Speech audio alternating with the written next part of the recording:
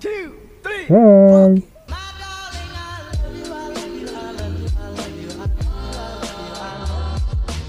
What's up? So yun.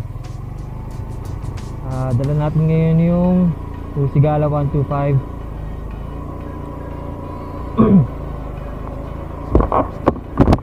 Papaayos natin sa kasa. Bali ang ah, papaayos ko ngayon ay yung bearing sa likod. Kasi medyo maingay eh. Papaayos ko yon Tapos bibili tayo ng side mirror. Tapos check natin kung gagana pa yung baterya. Kung mapapacharge. Kung may charge pa. At kung ubra pa yung paglalagay ng tubig. Para may push start tayo. Kasi sa ngayon, eh, sipa lang to eh. Ba mahina yung busina. Garalgal. Diyan naman yung Rusi na kasa sa may tapat na subdivision na paglabas na paglabas lang. Kaya naka-search lang tayo. Pero nasa parts tayo. Hindi rin tayo nag-gloves.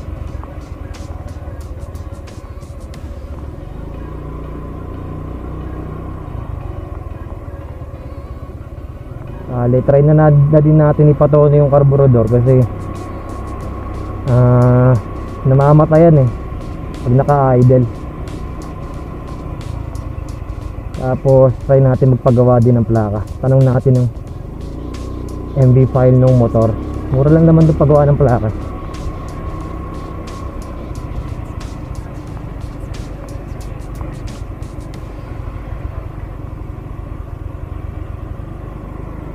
Palitan ko na rin pala ito ng grips. Yung lumang grips si George yan. oh. Hindi ako sa drip impro taper, impro taper na kulay pula eh.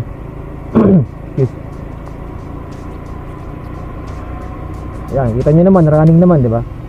Maingay lang talaga.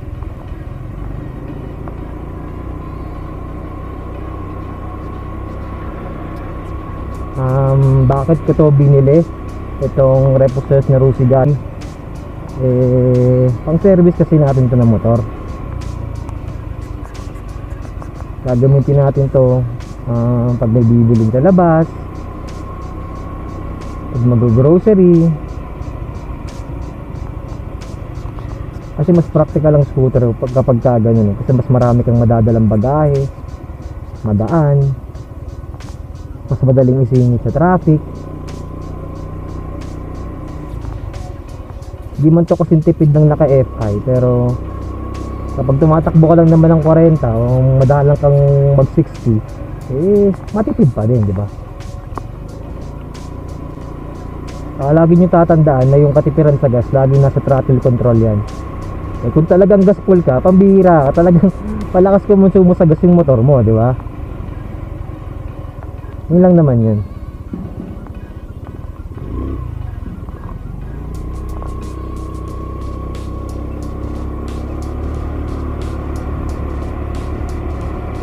Kung may pambili naman talaga ako ng ng kahit siguro yung Mio Sporty, yun ang titirahin ko. Kasi totoo namang mas reliable yung mga branded na motor kaysa sa mga gandong China bike. Di ba? Hindi naman natin makakaila yun eh. Well, hindi ko naman sinisiraan yung Rusi. Ang akin lang, hindi ko lang talaga makakaila na mas reliable at mas maganda yung mga branded na motor mula sa Big 4, di ba? Kahit sino naman tanongin mo dun eh. Well, sa tingin ko ah.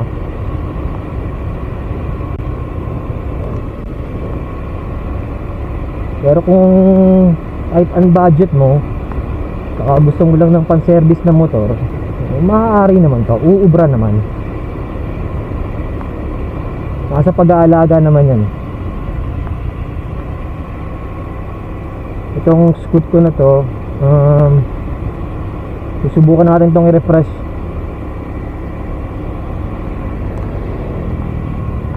Titignan natin kung may gaganda pa yung takbo para tumagal din sa atin.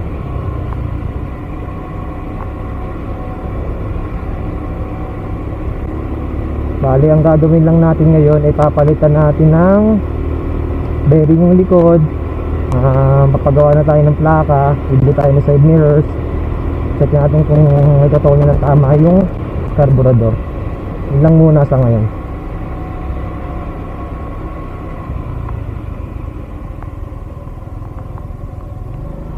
Okay din naman yung suspension niya. May laro din naman.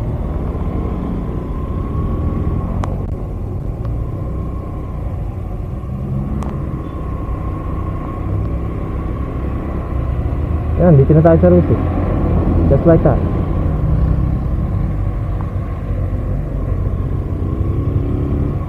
Few moments later. Yan, nakabili tayo dito ng side mirror. Saka gear oil, engine oil yan. Sipa-sipa muna.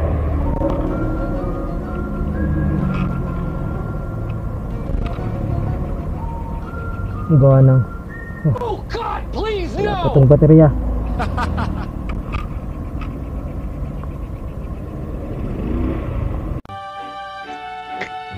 Wow! Balik na tayo sa kasa.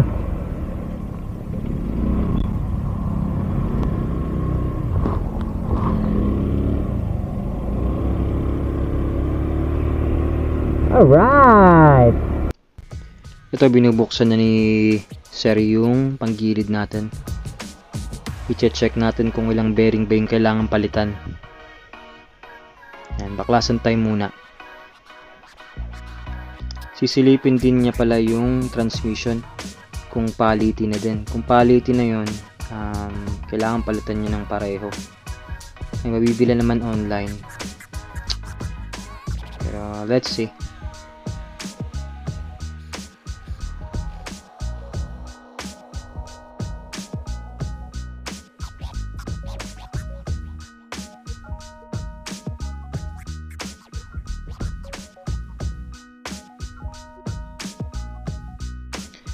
Yan, um, yan yung lumang gear oil. Tignan nyo naman, oh. napakabalasubas nung unang mayari, pambihira naman. Napalitan na natin ng gear oil yan. Tsaka ng engine oil. Kasi sa 10,000 na yung odo eh. Sagwa ng kulay, oh. Sauce. Yan, shell advance lang na 20W40. Saka itong Yamalube. Mura lang naman to mga to. Palag-palag na to. Let's go! Ito yung mga bearing na sinasabi ko. Yan, umaalog to eh.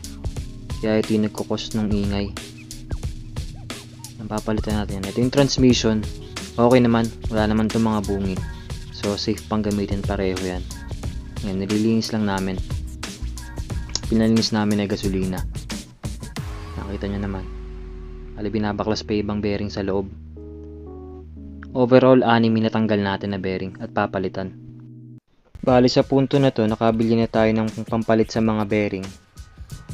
Yan, kakabitan na lang. Bali, pa, pinalitan din pala yung brake shoe tsaka brake pads. Harap at likod. Yan. Pud, sobrang pudpud na pala eh. Diyos ko, tsaka sinacharge yung battery natin. Sinusubukan natin kung ubra pa. Alright. 12 seconds later. Pauwi na tayo ngayon. Ah, kakatapos na ng gawa. Nabot din tayo na may higit tatlong oras. Madami kasi nagkapagawa sa Rosie ngayon. Nice car. What's up? Hira ito mga tayo pa ang pagbigin, no? Diyos, Mariosip ko nag-uwi naman.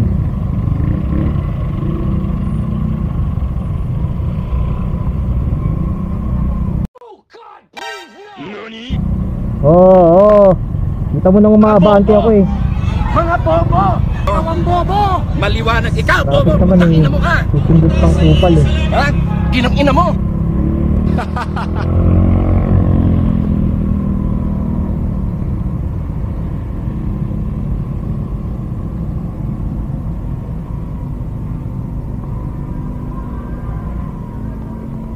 Bali ang nagawa ngayon eh yung mga bearing.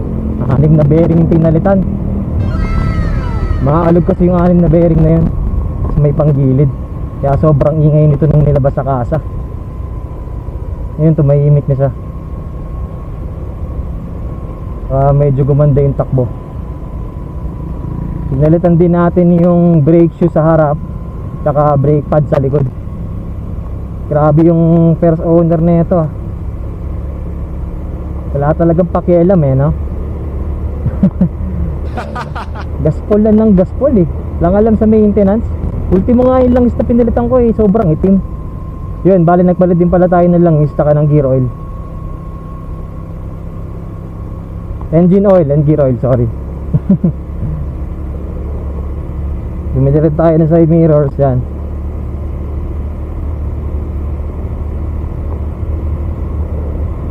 Hindi naman ganun kalaki yan na nagastos natin sa ngayong araw Okay lang, sapat lang. Sabi naman dun sa Rusi, libre yung labor lifetime. Pero sa panahon ngayon, wala nang libre. Kasi may hiya ka sa gumagawa, di ba? Mekaniko yun eh. So abutan na taabutan mo pa din yun. Huwag natin tigasan yung mukha natin, di ba? Kahit sabihin pa nung kasa na libre, abutan mo. Huwag kang mahiya ka naman. Diyos ko. Yun lang Ah, Satisfied naman ako sa gawa nila, okay naman. Saka may parting naputol na minor dun sa carburetor Bibili ako ng repair kit. Ang ginawa nilang workaround sa ngayon eh, Tinasan nila yung minor Yung sa hangin, sa carburetor Para hindi ako namamatayan pag naka-idle. Saka hindi ko naman ipanggagaspol Ipanggagaspol tong motor na to Ang main purpose naman kaya bumili ako nito eh Para sa pang grocery namin ni Milavs. Kaya lalabas kami may bibilin. Kaya lalabas ako um, Para mabilang ko siya ng tamang pasalubong Sesel ng pasalubong. Eh Mas madali di ba? Kasi kay George. Sinasabit ko dito yung mga nabibili ko eh. Kung wala akong bag sasabit ko talaga dito Ngayon pwede ko nang lagyan ng sabitan dito. Yan yan yan. O kaya mayroon dito may ipuan sa ilalim. May sabitan yan.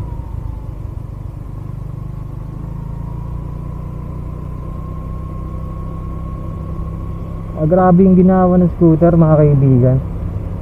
Pag galing ka sa manual. You know, gas-gas ka lang. Piga ka lang piga Ah, napakagano to Daling yung maniobra sa traffic.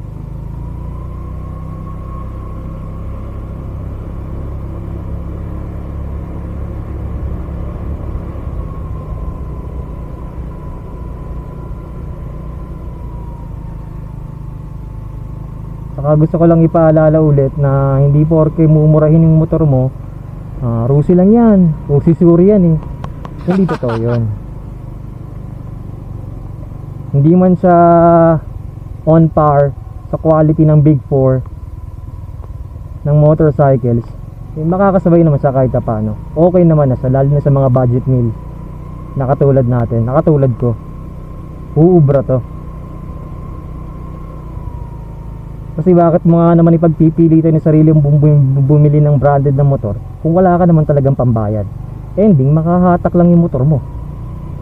Diba? Mangungutang ka pa para may pambayad. Diba? Hindi naman maganda pakinggan yun. Kaya may motor ka, wala ka namang panggas, diba?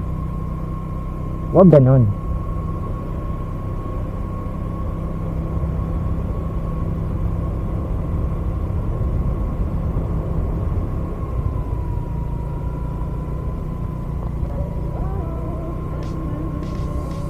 Hindi man to kasing smooth ng ibang scooter eh it's still know it's still serving its purpose.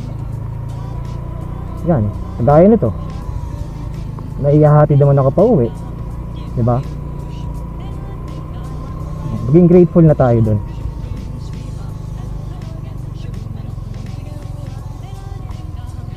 Makapasa saan pa eh makakabili rin tayo ng pangarap natin mga motor. Sa magtrabaho lang ng maigi. Ayun, maraming salamat sa pagsama sa amin sa biyahe ni well, hindi si George yung kasama ko. sa salamat. Bye-bye. Bye-bye.